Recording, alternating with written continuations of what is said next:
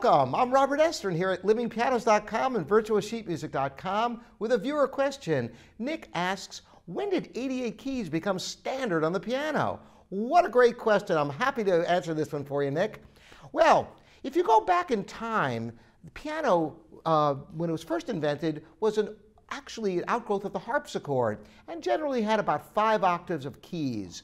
And this gradually grew. During Beethoven's life, his music demanded more and more, not just keys, but more substantial structure of the instrument because of the dynamic range requirements of the music.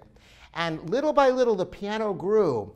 Now, by the middle of the, um, the 19th century, pianos had typically, as you get to the later part of the 19th century, usually 85 keys was pretty standard. However, there were pianos starting to emerge with 88 keys in the 1870s in that realm, even earlier.